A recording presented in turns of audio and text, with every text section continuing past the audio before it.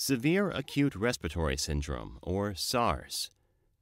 A severe acute respiratory syndrome is a contagious and potentially fatal respiratory disease.